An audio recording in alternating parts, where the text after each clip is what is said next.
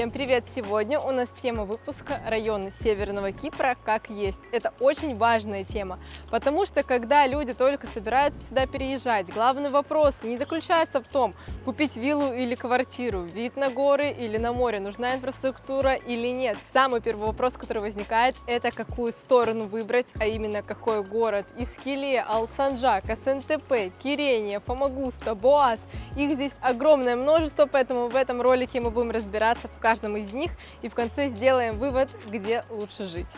Давайте начнем немножко с географии. Вообще, Северный Кипр очень удивительное место и по своей природе.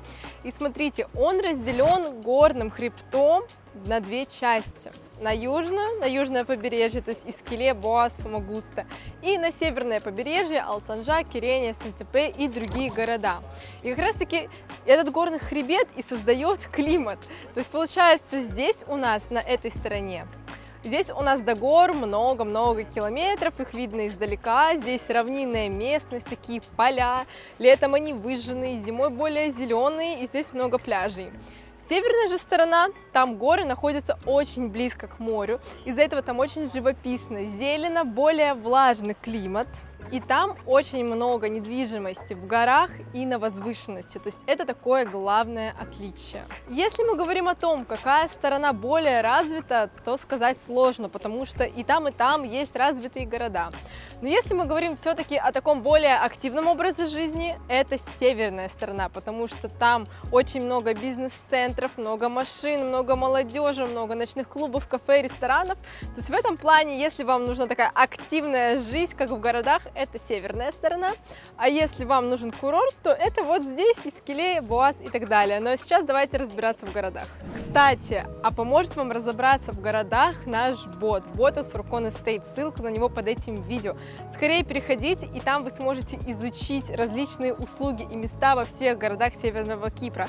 Вам всего лишь нужно задать услугу или место, то есть там у вас будет меню. Допустим, вам нужен спортзал. Нажимаете спортзалы, и потом выбираете локацию, допустим, Боа вас. И он вам отправит подборку всех спортзалов сразу с номерами телефонов, с локациями. Это супер-супер удобно, поэтому скорее пользуйтесь. Ну а кто уже успел нашим ботом воспользоваться, пожалуйста, напишите в комментариях, что нам доработать или наоборот все супер. Итак, давайте начнем разбираться с этой стороны, то есть где у нас Искеле. Ну и давайте начнем с Фомагусты. Смотрите, Фомагуста – это густонаселенный город, который состоит из домов, да, жилых и университета.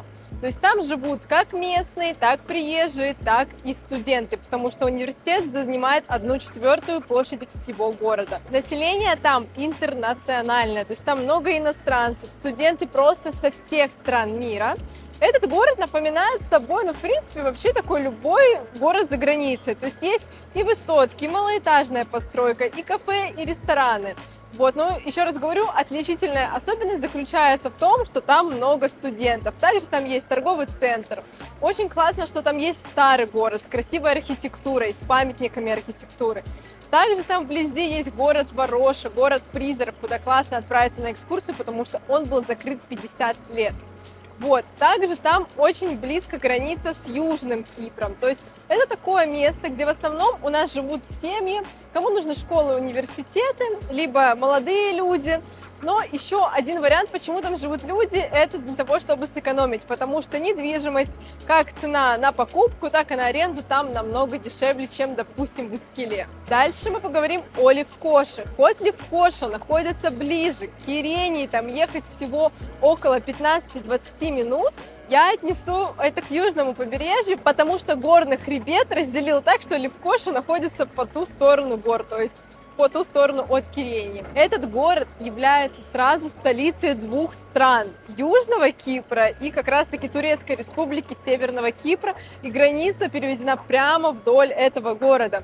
Этот город напоминает мне собой Фомагусту, да, то есть такой же город, только далеко от моря, километры до моря. Такие же высотки, отели, но он более загруженный, и среди покупателей он менее интересен, то есть там не так часто покупают недвижимость, потому что, ну, там действительно рядом только бизнес-центры, университеты, но это также хороший способ сэкономить, потому что до Кирении близко, то есть до живописных видов, до пляжей все близко, но недвижка там дешевая, то есть такой вот вариант. Туда очень многие отправляются, чтобы решить свои дела по документам, потому что все основные госучреждения находятся именно там. Там можно сдать на права, в общем, там можно сделать абсолютно все. Но и также туда отправляются на шопинг, да, чтобы купить одежду и так далее. То есть такое вот место. Итак, Искеле один из самых знаменитых районов здесь. Очень распиаренный район. Кто-то называет его аналогом Сочи, кто-то аналогом Анапы, а кто-то и аналогом Майами. То есть кому с чем есть сравнивать. Если мы говорим об этом районе, то он отличается тем, что это длинные песчаные пляжи, и посередине их вдоль дороги стоит такой город с высотками. И напротив него находится пляж с набережной из кафе Лонг-Бич. Там сейчас строят и высотки, и малоэтажки, этот район на самом деле любят многие, потому что там очень удобно и комфортно жить. Ты живешь в спокойствии, в тишине, у тебя все рядом, и магазины, и аптеки близко, и до Фомагусты тоже, да, о котором мы только что поговорили. То есть 20 минут на машине, и вся инфраструктура тебе доступна. Там строят хорошие комплексы с такой масштабной инфраструктурой, бассейны и так далее. Вот. Ну и, конечно же, этот район, этот город любят те, кто очень устал от городской суеты в своих родных городах. И они сюда приезжают и просто отдыхают за все прошедшие годы такой суетной жизни. Этот район развивается последние 10 лет. Его очень полюбили наши соотечественники. Там действительно процентов 80, ну не, давайте 70, это русскоязычное сообщество. Ну и люди себя чувствуют комфортно, как дома, везде слышна наша речь. То есть в этом плане люди тоже выбирают этот район. Дальше район Ени-Базычи. Этот район расположен между Искеле и Фомагустой. В основном там малоэтажная постройка, то есть виллы и апартаменты высоток там можно посчитать, ну, думаю, на пальцах одной руки. Вот. Этот район очень любят семьи, потому что там тишина, спокойствие, рядом школа, напротив шикарный пляж, также там рядом пляж и старый город Саламис. То есть э, там в основном, еще раз говорю, селятся люди, кто просто хочет себе виллу. Виллу, потому что там сейчас много свободных земель, можно купить участок и построить себе свой домик, ну либо уже купить что-то готовое у застройщика. Вот. В основном там не любят жить подростки, потому что все семьи, да, у которых есть подростки, мне все жалуются, говорят, блин, нашим детям не с кем гулять, там, мы не отпускаем их, допустим, автостопом, вот. То есть такой нюанс этого города, но, в принципе, он удобен своим расположением. 10 минут из Киле, 10 минут до Фомагуса. В общем, идеальный вариант для тех, кто хочет умиротворить. Ну и последний популярный город на этой стороне, это у нас Боас. Это даже не город, это регион. Он находится возле Искеле, ехать 15 минут, сейчас набирает обороты, развивается буквально последние пару лет. То есть он по концепции действительно очень похож на Искеле, высотки, малоэтажки, шикарные пляжи, но у него есть огромное преимущество перед Искеле. Если Искеле застраивается, получается, за трассой, то есть трасса разделяет этот район от моря, то в Буазе комплексы строятся прямо на берегу. И поэтому многие пророчат ему будущее, что он станет еще круче, чем Искеле. И вообще сейчас там даже строят проекты 25-этажные в дубайском стиле. То есть это действительно говорит нам о том, что этот регион вполне возможно обгонит Искеле. Вот. Недвижка там сейчас чуть-чуть подороже, потому что, еще раз говорю, близость к морю. Но сейчас переходим на другую сторону и начнем мы с СНТП. СНТП – это район, который он застраивался много лет назад, но активное развитие началось буквально последние два года.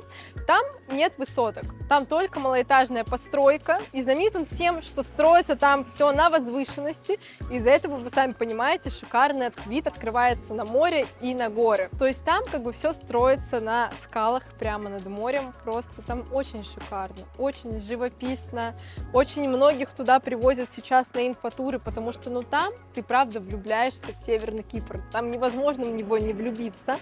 Но, конечно же, есть свои нюансы. То, что сейчас там практически кроме жилых комплексов вообще ничего нет.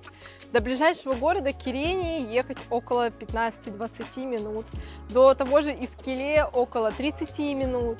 То есть в плане инфраструктуры там все не очень. То есть если у вас нет машины или вы не планируете никуда выезжать и просто вот лежать на гамаке или на шезлонге, смотреть на море, сбежать от цивилизации – это лучший вариант. Потому что я вам сказала, Богазичи такое место, но нет, точно нет. Эсентепе у нас вне конкуренции, то есть там пока что такая реально luxury, я скажу вам, глушь. Но это в хорошем смысле, то что действительно вот кому нужно вот это вот умиротворение души на сегодняшний день, это самый лучший вариант. Но он уже развивается, то есть там строится и яхт-клуб, буквально через пару лет уже такого не будет, поэтому ловите последние годы этой тишины. Дальше, после СНТП, у нас идет Кирения, один из самых знаменитых городов, то есть на слуху, да, так же, как и Искеле. Мне Кирения напоминает очень сильно Фомагусту, но она в сто раз красивее. Это очень красивый город. Ты просто оказываешься где-то в тропиках, потому что ты гуляешь по набережной, здесь тебя набережная, здесь у тебя горы, пальмы, то есть там очень красиво. И в эту красоту умудрились уместить город, да, с высотками, с бизнес-центрами. Причем это все вписывается в старинную архитектуру, в крепость. И многие вот не могут определиться, Фомагуста или Кирения, Фомагуста или Кирения. И вот все-таки кому нужна природа, это точно Кирения, потому что город, по сути, такой же, но там действительно глаз радуется намного больше. Дальше, после Кирении, у нас идет Алсанджак. Очень популярное место среди наших соотечественников. Это тоже такое курортное местечко, хоть оно находится и возле Кирении.